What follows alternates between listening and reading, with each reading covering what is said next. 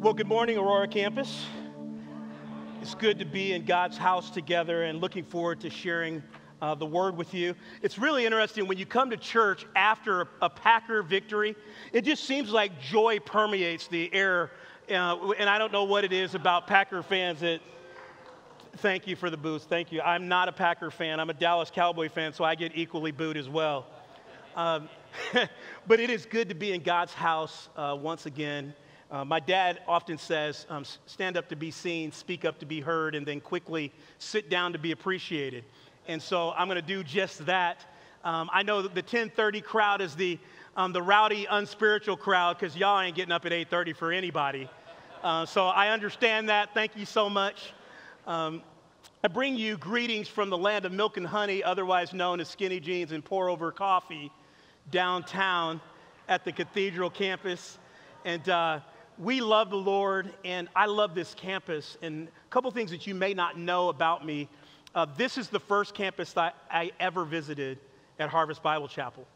Uh, I came in, and uh, there was a pastor who was running around in a pirate suit, uh, and there were probably about 200 or so children that were running around. It was called High Five, and that pastor was Craig.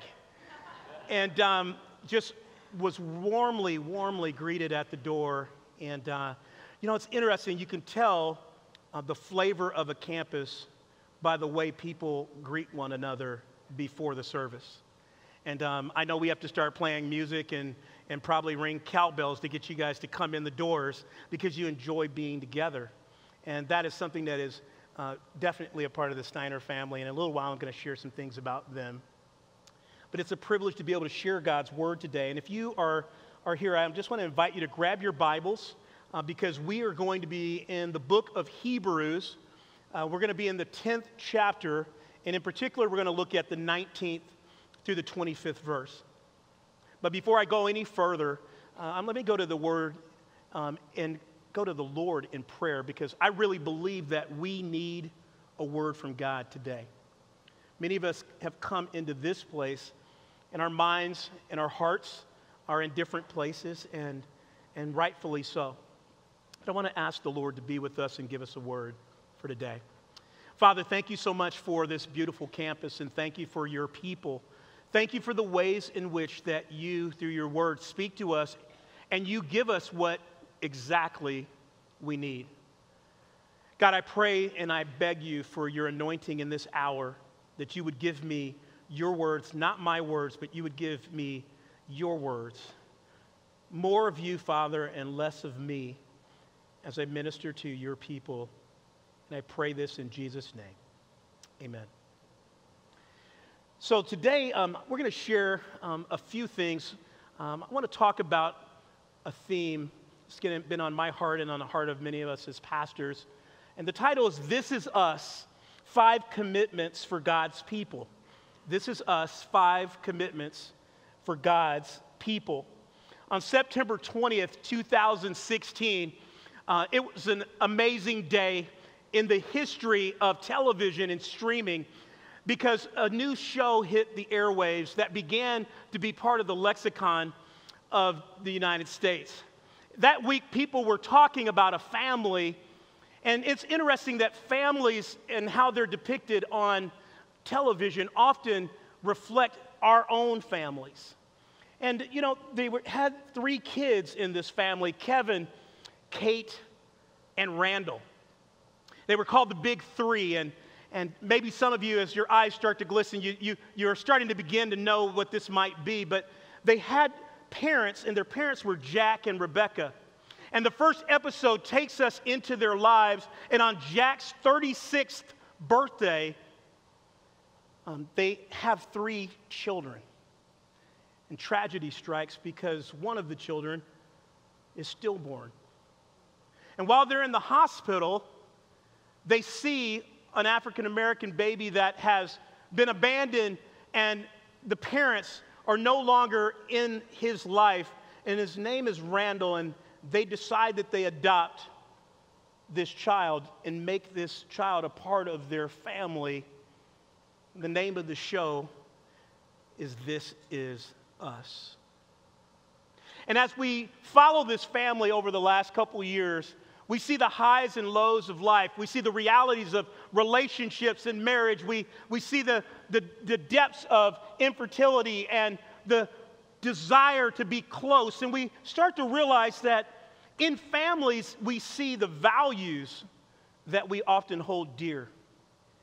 Pastor Ed, why are we talking about this is us on a Sunday morning? Well, thank you, Jordan. I'm so glad you asked that question. We're talking about that because God's house is also a family. And in families, you have pain and you have joy. In families, you have um, disappointments and questions. But one of the things I've learned about family in my own family is that life is better connected. Would you agree with me that life is better connected? And, and sometimes, even in our own families, life is challenging and hard. Sometimes in families, there's drama. And I'm just ask you to keep looking this way and smile. You don't have to point the finger at the person next to you because um, they may be the drama in your family. But the reality is this that we have oftentimes drama in our families. But I love that the Bible encourages us about what are the commitments that we should have as people of God. So go with me to Hebrews 10, and I'm going to read the 19th through the 25th verse.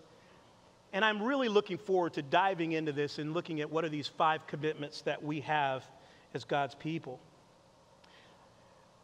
And the Bible says this Therefore, brothers, since we have confidence to enter the holy places by the blood of Jesus, by the new and living way that he opened for us through the curtain, that is, through his flesh, and since we have a great priest over the house of God, let us draw near with a true heart in full assurance of faith, with our hearts sprinkled clean from an evil conscience and our bodies washed pure with water.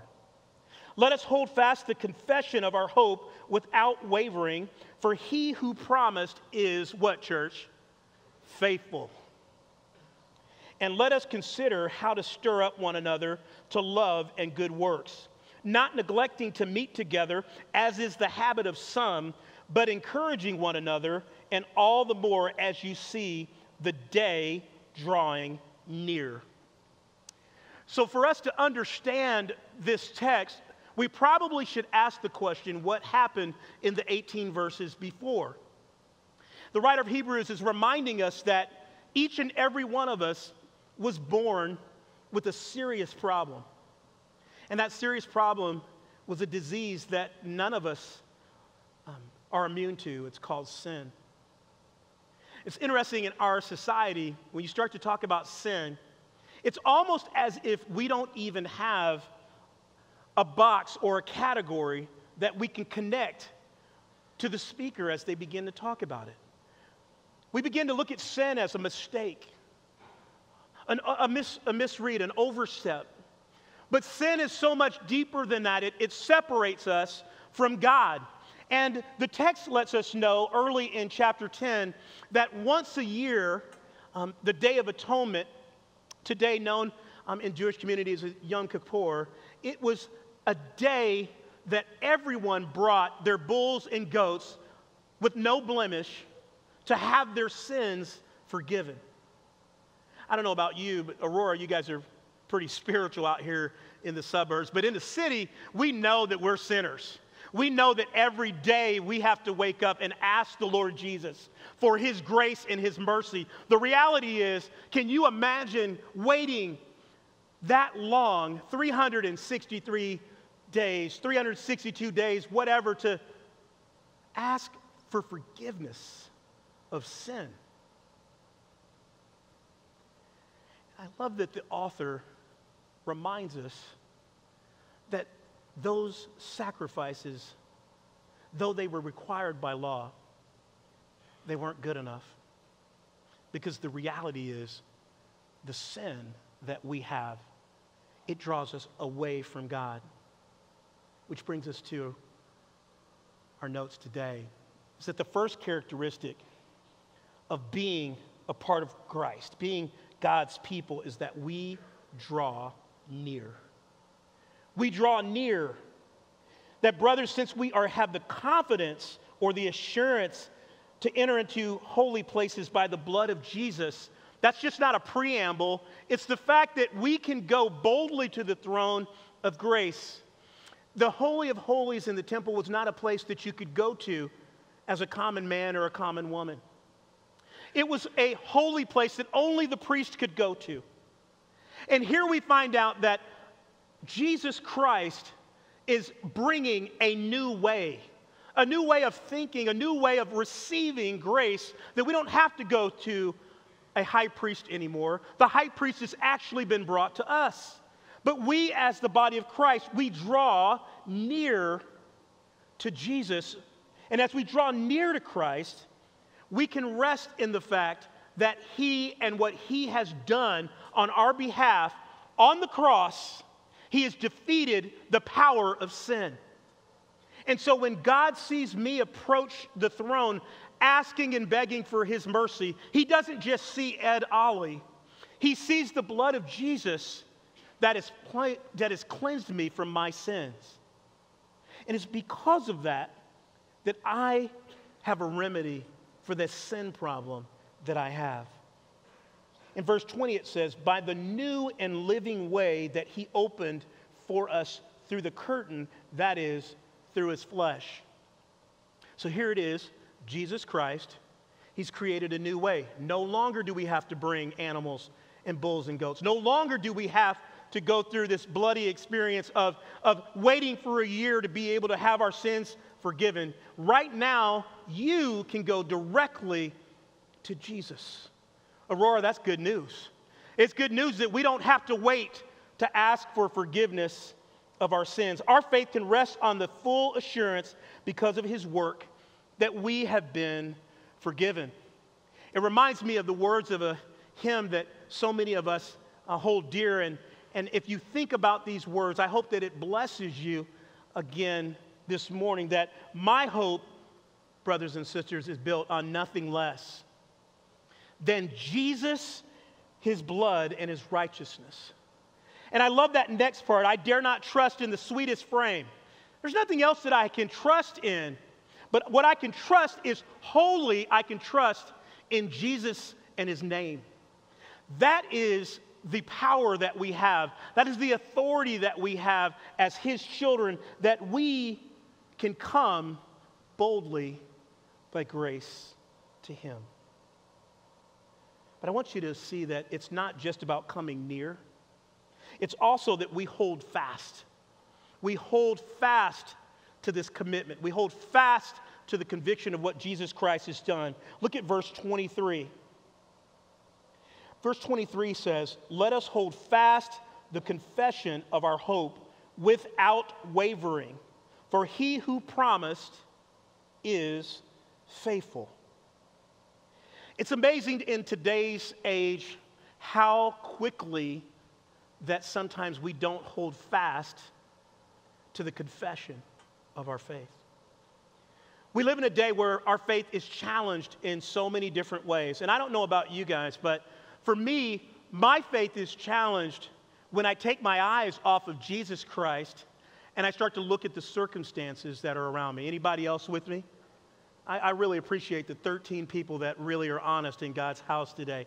I, that, that oftentimes for me, I, I lose track of the faithfulness of God because I'm starting to look at the things that are around me. Pastor Craig and I were talking recently about something, and I said, The only thing that allows me to be able to get up and do what I do is to rehearse the faithfulness of God. I wonder who today, under the sound of my voice, can just think about things that God has done in your life where He has remained faithful. God, I thank you for the job that you've given me that I don't even deserve. I, I thank you, God, for the spouse that you have sitting right next to me that puts up with me every day. I, I thank you, Lord, for that. God, I, I thank you for being faithful and allowing me to break up with that tragedy of a person who, if I should have been with, I would have had a reckless life. I thank you, God, for that boyfriend who hurt my feelings that I now can see that we weren't to be together. I just thank you, God. You're so faithful. God is faithful when we are not. I know that in Aurora, you guys are faithful, but again, in the city, we, we realize we're not faithful often to God. And I love that God, in his response, is not to do away with me. I'm so thankful that in, in my rebellion, my open rebellion to Him when He has shown me His will and what He wants for me in my life. I'm so glad that God doesn't say, You're out of here, you're out of the club, you're never to talk to me again. But when I come boldly to the throne of grace, out of my brokenness, as I get low, He remains faithful. I believe that our church in this season we have seen Jesus high and lifted up in a way that we've never had before because we've been made to get low. We've been made not to depend on the things that we see with our own eyes, but we are been made to depend on He that we cannot see who has been faithful. Let us hold fast to that confession. Let us not hope without wavering, because He who promised indeed is faithful. Can I make a confession to you in church today? I don't have a problem trusting the Lord. My problem is waiting on Him. I don't have a problem trusting what He's promised and what He said in His Word. I don't know, it's just something, I just immediately, God, you said that. I, I trust you. It's, it's yes and amen. I, I bow before you. I say yes. But there's that waiting part that I have a problem with. Anybody else with me? We don't like to wait for anything in America. We want our food right now. We want the Bears to win right now. We want to make sure that our kids do what we ask them to do right now. We don't like to wait in the United States of America about anything. But it's interesting that I found that it's when I wait on God that I see Him more clearly. God's not Amazon Prime. You, you can't get it in an hour. He, he's not interested in answering your prayer about Harvest Bible Chapel um, today. He is interested in our great faithfulness toward him and turning our face toward him if my people who are called by my name will humble themselves and pray and turn from their wicked ways. It's really only then, if you seek my face and not just my hand, then I will reveal myself. There's something that happens, my friends, when we hold fast and when we wait. Because we live in a world that's in becoming increasingly hostile to the gospel. Why would the author plead with them to draw near and to hold fast? I think it's because he gives us the antidote. He gives us the antidote because he realized that they would go through difficult days. He knew that they would go through periods of questioning. He knew that they would go through periods of unfaithfulness and, and drawing away from God. And the third thing that I want to share with you today is that we stir up. We stir up among ourselves the gift that God's given us. Now, there's a lot of things in families that we can stir up. Amen? All you have to do is go to your house for Thanksgiving or Christmas and it's amazing, isn't it? The first 36 hours, it's just so beautiful. I mean, I mean, your favorite meal was cooked. Uh, you know, hugs abound. Uh, you know, gifts are given. Something happens at the end of day two that I cannot explain. When Aunt Mary and Uncle Bob start to show up. And everybody has an Aunt Mary and Uncle Bob, and, and you love them in Jesus' name, but you're so glad to see them go in Jesus' name and the drama begins to ensue, and, and you start looking at the clock and you start talking to your wife, hey, babe, should we hit the hotel? should we leave a little early? The reality is, trouble starts to happen, and you start to get distracted, and you start to forget the gift of the family that you have. And the Bible says that we are to stir up something. It's not drama, it's not discontent, but look at your scripture, verse 24. What are we to stir up? And let us consider how to stir up one another to what, church? To love and good works. How do we stir one another up to love and to good works? This is Harvest Bible Chapel, and uh, many of you maybe have read through the book of Hebrews. I just want to encourage you to look back with me just a couple of chapters. Look at verse chapter 3 in Hebrews, chapter 3. Just scroll back a couple pages. And I want you to look and highlight verse 13. Such an encouragement to each and every one of us. Love the consistency of Scripture. You're like, where, where have I heard that before? Verse 13 says, But exhort one another every day. How often is every day, y'all? Every day. Is, I mean, that's that every, thank you, PhD in Aurora, every day. But we're going to exhort each other every day as long as it's called today, if you didn't understand before, as long as it's called today, we're going to exhort each other that none of you may be hardened by the deceitfulness of sin.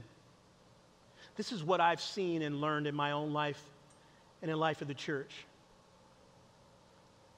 Sin is incredibly deceitful. You can walk in sin and not even know it, especially when you're alone. And the Bible says, let's do this daily. Let's exhort one another as brothers and sisters in the Word of God and in joy and love. Let's exhort one another. Let's, let's press on and let's encourage. I love that word. Consider in the text means to provoke one another. Let us provoke one another in love and the good works. Just want to ask the question when's the last time that you sat consciously at your house and thought, who at church can I provoke to love and good works today? Who could I do that to? Please don't send emails tomorrow um, to my house. I mean, I, I, I really appreciate it. But think about in your church when's the last time that you considered provoking someone to do good, to love others, and to be about the works that God has for you. I love, love every Sunday going to huddle. Some of you guys don't, don't know what that is, but for those that serve on the weekends, for 30 minutes, um, 30 minutes before the service, we get together um, for huddle, we call it. It's just an encouragement. It's like quick pep talk. We pray, get a chance to hug each other, love one another, and then we go out to serve the rest of you. Why is that so important?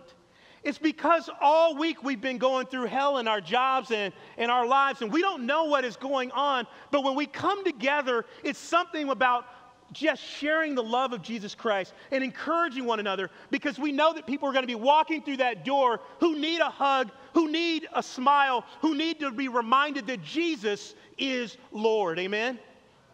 Something happens when we stir up love instead of drama and hatred, discontent, strife. Something happens when you stir up love. So, why do we stir up love? And why in the world do we attempt to gather together? Well, that last point is we gather together. We gather together as God's people. We, we meet regularly as believers. And I love how the psalmist says it in Psalm 122 and 1. Um, it's such an amazing thing when it says, I was glad when they said unto me, Let us go into the house of the Lord. It wasn't a, a mistake. It, it was, I cannot wait to gather together. I was speaking at a conference recently, and it was a women's conference, and the doors were all closed, and, and it was completely empty. And they opened the doors, and I love when ladies go to conferences. You know, guys, you know, we try to be cool. You know, we, we walk in, you know, high five each other, just kind of stroll. When those doors opened up for worship, I almost got run over by the ladies. They didn't care who I was. We don't care you're a speaker, trying to get to the seat. Ladies just running in and just grabbing their Bibles, just putting their shawls down, and we're just here. We're ready. We're in the house of God. That's how I feel every Sunday morning when I get ready to come to church. It's like game time. It is, I am ready because I can't wait to see y'all. I can't wait to hear how the week's been. I can't wait to love God's people. It doesn't matter if I'm speaking or someone else. I want to be in God's house. But it's interesting because the text doesn't reveal that that's the spirit of all people. Look at verse 25. The text says, not neglecting to meet together, as is the habit of some. We live in a culture that's become increasingly cool to not go to church. People are like, man, why do you guys always harp about going to church? Just come to church and, you know, everybody come to church. Why do you guys talk about that so much? Well, thank you. I'm glad you asked as well. I want to share with you why we're excited about that. But the reason why we're excited about that is because we've noticed that our culture is significantly changed. I know these aren't problems that are in, in Aurora, but over this last week, I was reading a, a blog post by Pastor Carey Nieuwhof that just really blessed me.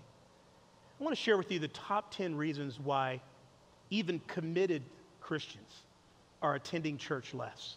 Again, this doesn't happen in Aurora. I'm just talking about other churches and other people, not you all. Y'all just sit in, enjoy the service, enjoy the sermon. But this is 10 reasons why people attend church less than they used to. The first is greater affluence. The urban translation for that is God's people have more cheddar, they, they, they have more to spend. There's, there's more resources that they have in disposable income. Because of that, they have more choices. And so there's more affluence in God's house. This is particularly the case in suburban churches in settings like ours. There's more resources that people have. But the second thing is there's a higher focus on kids' activities. We just park right here. I have a 15 year old, I have a 12 year old, and I have an 8 year old. Parents, I'm here to tell you that the new idolatry in the evangelical church is kids' sports.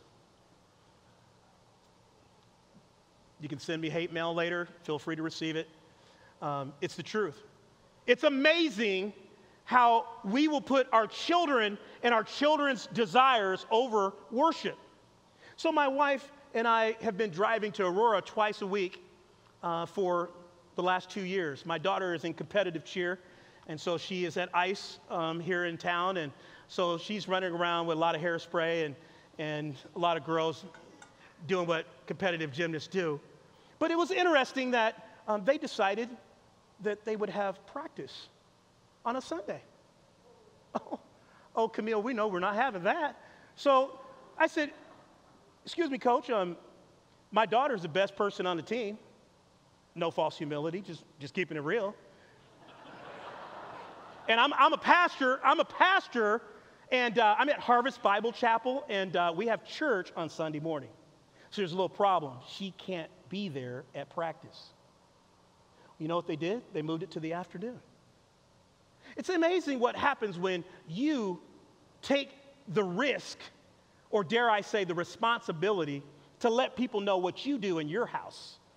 I didn't apologizing for going to church. We go to church, we gather with God's people.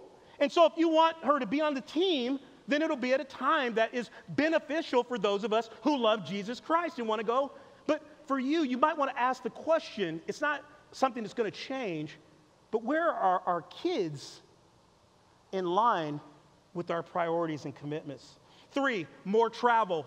We just travel more. Uh, Southwest has $59 special. Me and the girlfriends, we're gone. We just, it, we're out. It's just more travel. This is what we're going to do. It's just a reality. Fourth thing is blended and single parent families.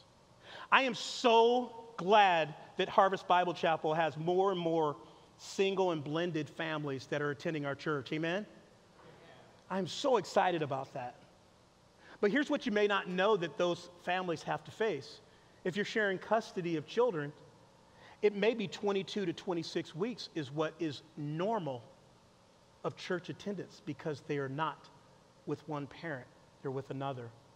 So there's just a reality for us to be aware of. Five, online options. No, I don't need to go to church this week, Pastor Ed. I went, I went already to church. Oh, where'd you go? Oh, man, I went to online. It was awesome. I was at church in my PJs, gave my offering. It's all good. I don't even need to go. Wow, that's interesting. Online. I mean, and online is here to stay, it's not going anywhere. But people feel, oh, I would rather hear online than you, Pastor Ed. Oh, well, that's great. Thank you so much. Um, six, the cultural disappearance of guilt. The cultural disappearance of guilt.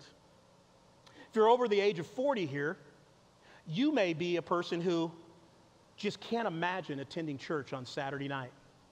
I just feel guilty if I'm not in church on a Sunday morning. Any of you that are like that? I just feel like, yeah, I just feel like I need to be in church. Guess what? You're in a very, very precious minority because the rest of the world could care less. People don't feel guilty about not attending church. They feel guilty by not going to Pilates, not going to get a workout, not going to the Bears tailgate at 8:30 in the morning when the game's at 1. They feel guilty about that. They do not feel guilty about not going to church. And if your witness has been predicated on helping people feel guilty, you need to find a different way to share about Jesus because it doesn't work. Seven, self directed spirituality. It's just me and Jesus. I don't need the Aurora campus. I don't need to go hear Pastor John Bell give a word today. It's just me and Jesus. It's what I do. Wow, that's interesting. It's not a New Testament concept. There's nowhere you can find that it's you and Jesus and no one else. But self directed spirituality is all the rage. Eight, failure to see a direct benefit. I don't see a benefit to coming to church at all. I'm a pastor's kid. That's a blessing and a curse. Steiner kids, you already know that. It's a blessing because you get an opportunity to, to see God at work. You get an opportunity to be able to see what God has done. Uh, but the other thing that's really challenging about it is you get to see the other part of the church and its impact also on your family and sometimes your parents. And sometimes you get in that rut and you wonder if going to church even matters. But nine, I believe we need to begin valuing engagement over attendance. But often we value attendance over engagement. How many people were at church this Sunday? I really don't care how many people were at church this Sunday. What I actually care about is how many people were connected during the week. How many people are actually serving the Lord Jesus? How many people are taking the gifts that He has given them and spurring on other people to good works and to love? That's what I'm concerned about, but I believe too often we've been concerned about how many butts are in the seats. But the last point is this there's a massive cultural shift. If you don't understand that in Aurora, in our region, in our country, it's a massive cultural shift that's already happened. I remember a day when I woke up that, and as, as a kid, that it was wrong to smoke weed in public. Well, welcome to Illinois in a few months. That won't be the case. I remember when people thought it was okay to teach you about relationships between men and women, and, and now that's not the case. There's other categories that you can choose, and all of those are loved by God. But the reality is, the culture has shifted, but Jesus Christ has not. And so, as we love, as we care for, we're being told that we shouldn't forsake the gathering together as the manner of some might be. And why is that? Because I really believe that a life devoted to self ultimately leaves you alone. A life that's devoted to self ultimately leaves you alone. it's ironic that people are about improving themselves, but in the midst of improving themselves, they find out that they're more and more lonely. We are more connected on Instagram and Twitter and Facebook than we ever have been before, and we're the loneliest country in the world. Why is that? It's because we don't value genuine community.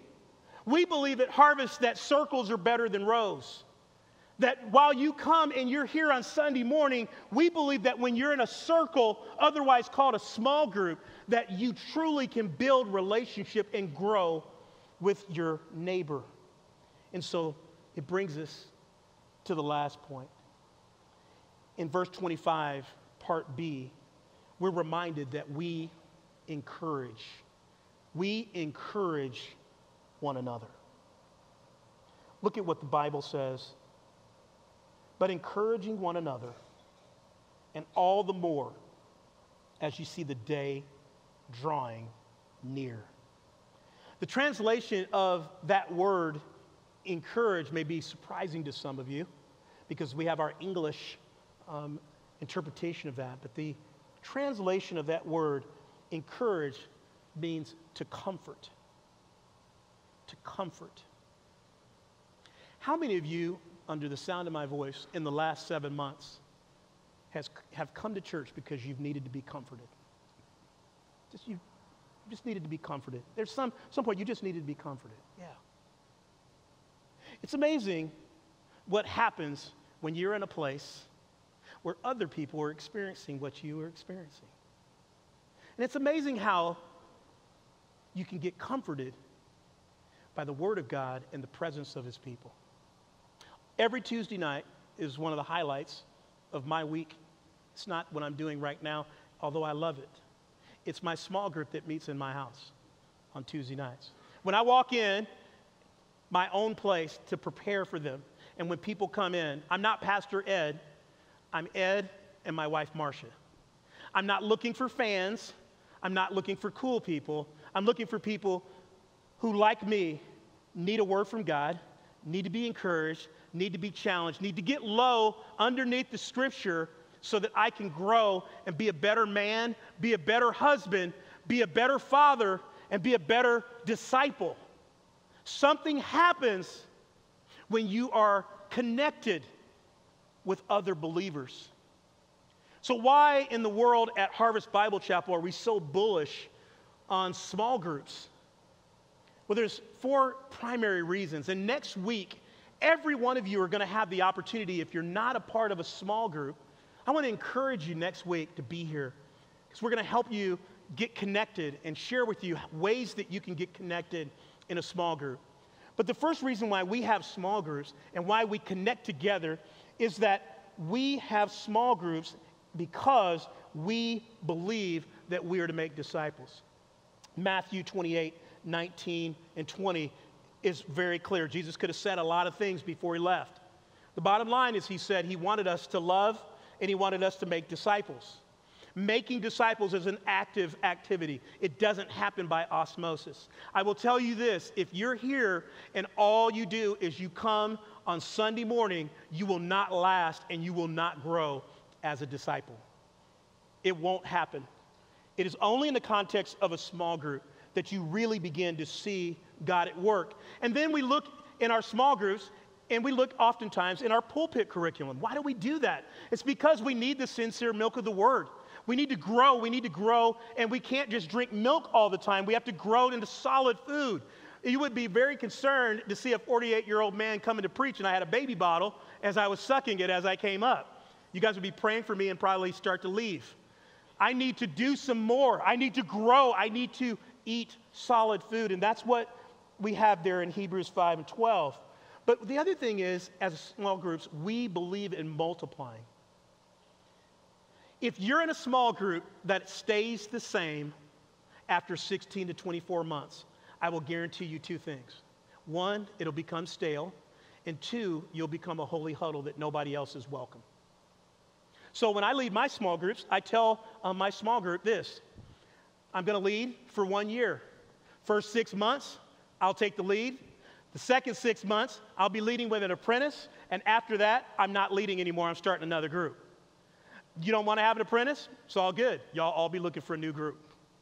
Just being honest up front. I want newness and life. I want people to come into the body of Christ and have an opportunity to grow and to be spiritually nurtured. And you should want that as well. That Aurora is better as you grow as a body of Christ. But the scripture here is leading to our last reason why we have small groups is that we believe in mutual ministry. We believe in mutual ministry. Turn your Bibles real quick to Ephesians chapter 4 as I prepare to close. Ephesians chapter 4.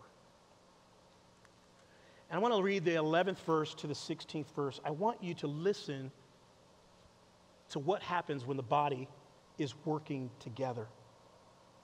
The Bible says, and he gave the apostles, the prophets, the evangelists, the shepherds, and teachers to equip the saints in the work of the ministry. It's all, it's just part A. It's what we're doing right now. That's what I'm, I'm doing is, is I'm equipping and, and helping you grow as, as believers. But the reason why we do that is for the building up of the body of Christ until we all attain to the unity of the faith and the knowledge of the Son of God to mature manhood, to the measure of the stature of the fullness of Christ. Wow. And listen to this so that we may no, no longer be children tossed to and fro by the waves and carried about by every wind of doctrine, by human cunning, by craftiness and deceitful schemes.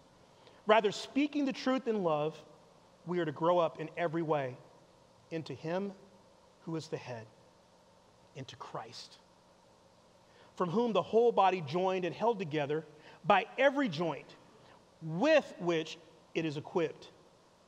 When each part is working properly, makes the body grow so that it builds itself up in what church? Love. Everything that we're doing, everything that we pray about, everything that we seek the Lord for is to build up one another in love. It's not to build up Harvest Bible Chapel. It's not to build up Pastor Ed. It's not to build up anything other than one another in love. That is the reason why we get together. Because a connected disciple is always a growing disciple.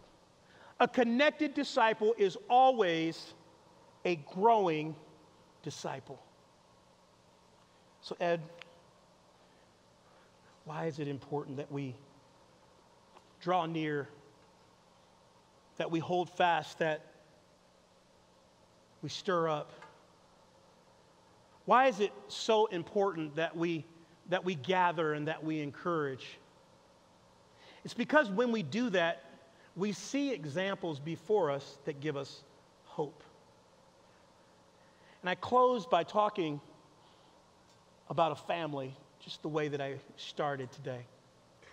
But I'm so glad that I don't have to wait to look at television to find examples of families that encourage and move me to be better.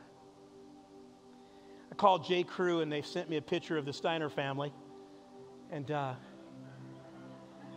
it's a little old. It's a little old. They all still look good. I thought about the relationship that I have had and that many of you have had with Craig, Camille, and the family. And as I was praying about, Lord, what would you want me to say to a campus that is encouraged yet grieving, that's happy yet sad, who is sure of their conviction and yet questioning their location. What in the world would you say to them? It's really easy. Follow me as I follow Christ. Pastor Craig and I have talked for hours about this day. And every time that I've talked with him, he's responded with scripture and encouragement to me. How, how can you do that? How can you respond with scripture and encouragement when you yourself are hurting? It's because you're sure of the conviction that the author of Hebrews gave to us. You're sure of the conviction that Jesus Christ is more than enough. That years ago, in a living room, 40 people gathered together to pray and ask the Lord Jesus, Would you have a witness of God in Aurora? And every one of you that are here are a part of the answer to that prayer. Isn't God good? We rejoice in that, that we can worship together. And so I thank God today for the example of Pastor Craig and Camille and the ways that they've loved me, and the ways that they've loved many of you, and the ways that they have prayed and called and, and labored and wept tears of joy and sadness over you as sheep. So I'm going to pray um, as I land this part of the service. My prayer for the Aurora campus is that you would hold fast to Jesus. He's the only one that doesn't disappoint. He's the only one that doesn't mistake your name for someone else. He has not forgotten you.